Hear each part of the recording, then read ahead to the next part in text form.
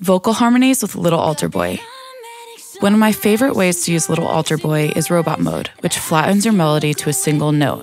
Just click robot, then find the root note of your song with the pitch knob. Add automation to change the note in your harmony layer and reduce the mix to 50%.